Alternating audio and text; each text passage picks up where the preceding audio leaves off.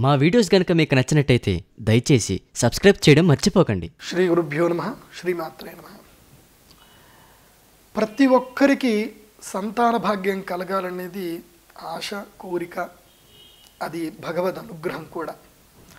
భగవద్ అనుగ్రహం లేకపోతే సంతానం కలగడం కష్టమే.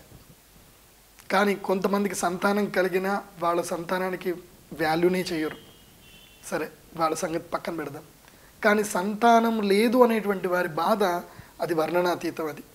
బయట ఎక్కడికి వెళ్ళినా చిన్నపిల్లలు ఆడుకుంటూ ఉన్నా మాకు పిల్లలు లేరే మాకు పిల్లలు లేరే అని బాధపడుతూ ఉంటారు. ప్రతిరోజు దుఃఖపడుతూ ఉంటారు.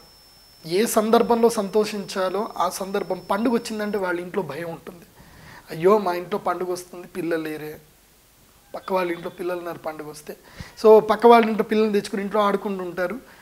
అక్కడ కూడా కొంతమంది నేను స్వయాన ప్రత్యక్షంగా చూశాను కొంతమంది మాటలు మాట్లాడుతూ ఉంటారు మాట్లాడుతూ ఉంటారు. పండుగ రోజు వాళ్ళ ఇంటికి మీరు మా పిల్లల్ని పిలవకండి మా ఇంట్లో పండుగ చేసుకుంటున్నాం మీ పిల్లలు లేరు కదా అని కొంతమంది డైరెక్ట్గా కూడా మాట్లాడేస్తారు. అలా వాస్తవంగా అలా ఎవరైనా సరే మాట్లాడుతుంటే దయచేసి అలా మాట్లాడకండి ఎవరి మనసుని ఇబ్బంది పెట్టకూడదు. సో హింస ఇబ్బంది పెట్టినా అది హింస కిందకి ఎక్కువ. అది కాకుండా ఎక్కడైనా పెళ్ళిళ్ళు వ్రతాలు పూజలు జరుగుతున్నాయంటే అక్కడ ప్రసాదం తీసుకోవడానికి వెళ్ళేటప్పుడు మొట్టమొదటి ప్రసాదంకి వెళ్తే అమ్మ నీకు సంతానం లేదు కదా మీరు రాకండి. అంటే దేనికి వాళ్ళని ముందుకు రావద్దు అని అంటారు సంతానం లేదని. ఇలా చాలా రకాలుగా అంటే నేను పెళ్ళిళ్ళు జరిగేటప్పుడు నేను చూస్తూ ఉంటాను. సో ఇన్సల్ట్ అనేది జరుగుతూ ఉంటుంది అవమానాలు పడుతూ పెడుతూ ఉంటారు. సో మరి వీళ్ళందరికీ ఒక సొల్యూషన్ అనేది కావాలి కదా. సో నేను ఎందుకు ఇవన్నీ ఎక్స్ప్లెయిన్ చేస్తున్నాను అంటే మళ్ళీ మీకు ఏదో గుర్తు చేద్దామని కదా సంతానం లేని వాళ్ళు దయచేసి ఈ వీడియో చూస్తుంటే ఐఎమ్ వెరీ సారీ దట్ క్షమించండి. కాకపోతే ఏంటంటే ఈ వీడియోని చూసి ఎవరికైనా సజెస్ట్ చేయాలి అంటే because if they are knowing that pain ఆ బాధం కనుక తెలిస్తే కనుక వేరే వాళ్ళకి సజెస్ట్ చేస్తారు ఈ వీడియోని కాబట్టి చెప్పాను. సో విషయానికి వస్తే కనుక సంతానము లేదు అని ఎప్పుడైతే కనుక బాధపడుతున్నారో మీరు బాధపడాల్సిన అవసరం లేదండి. సో ఈ కాలంలో మోస్ట్లీ సంతానం లేనటువంటి వాళ్ళకి ఏంటంటే బికాస్ uh, నేను ఈ విషయాలు చెప్తున్నాను అంటే ఆమె మెడికల్ సైంటిస్ట్ నేను మెడికల్ కాలేజ్లో టూ ఇయర్స్ నేను స్టడీ చేశానండి కస్తూరిబా మెడికల్ కాలేజ్లో. I attended dissection classes also so anatomy physiology and biochemistry related మొత్తం కూడా నేను స్టడీ చేశాను. I have submitted many research articles about that human anatomy గురించి కానీ human physiology and yoga related తర్వాత సంతానం లేనటువంటి వారికి యోగా ద్వారా ఏ విధంగా సంతానం కలగొచ్చు. సో జ్యోతిష్ శాస్త్రం ద్వారా సంతానం లేనటువంటి వారికి ఏ విధమైనటువంటి చేస్తే వాళ్ళకి ప్రాస్పరిటీ సిద్ధిస్తుంది. సో ఇవన్నీ కూడా నా రీసెర్చ్ ఆర్టికల్స్ ఉన్నాయి. సో నేను చెప్పేటువంటి మాటలు మీకు చాలా ఉపయోగపడతాయని అనుకుంటున్నాను. సంతానం లేనటువంటి వారు ఫస్ట్ ఏంటంటే మీరు మెడికల్ టెస్ట్ చేయించుకోవాలండి. సో చాలామంది ఇప్పుడు ఏం చేస్తారంటే ఐవీఆర్కి వెళ్ళడము అని చేసుకుంటున్నారు. సో సంతానం గురించి వేయాల్సిన ప్రాథమిక స్టెప్ ఏంటిదంటే అబ్బాయి అమ్మాయి భార్య భర్తలు ఇద్దరు కూడా టెస్ట్ చేయించుకోవాలంటే స్పర్మిటోజెనసిస్ సంబంధించినవి అంటే స్పర్మ్ కౌంట్ శుక్రకణాల కౌంట్ సరిగ్గా ఉందా లేదా అనేది పురుషులు కూడా చెక్ చేయించుకోవాలి. స్త్రీలకు సంబంధించి యూట్రస్ ప్రాబ్లమ్స్ ఏమైనా ఉన్నాయా?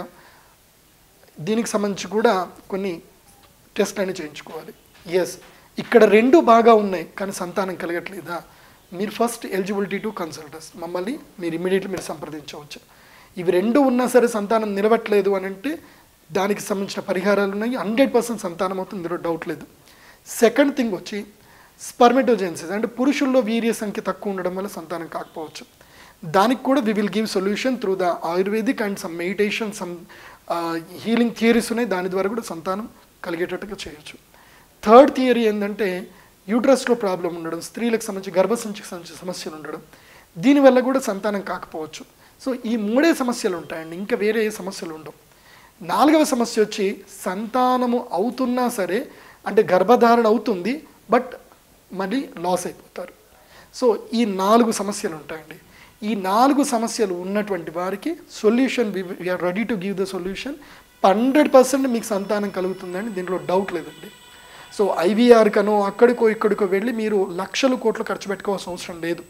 ఇందాక నేను చెప్పిన దాని ప్రకారము ప్రాస్పరిటీ కనుక ఉంది ఎస్ యూట్రస్లో ప్రాబ్లం లేదు అండ్ స్పర్మిటోజెన్సిస్లో ప్రాబ్లం లేదు. We are ready to give the solution స్పర్మిటోజెన్సిస్లో problem ఉంది యూట్రస్లో ప్రాబ్లం లేదు. Yes we are give to solution యూట్రస్లో problem ఉంది స్పర్మ్లో ప్రాబ్లం లేదు పురుషుల్లో ప్రాబ్లం లేదు. Yes we are ready to give the solution గర్భధారణ గర్భసంచి నిలవట్లేదా? దానికి కూడా ఉంది. సింపుల్ అండి. డైటింగ్ అనేది ఉంది. ఆయుర్వేదంలో మంచి చక్కని ఔషధాలు ఉన్నాయి.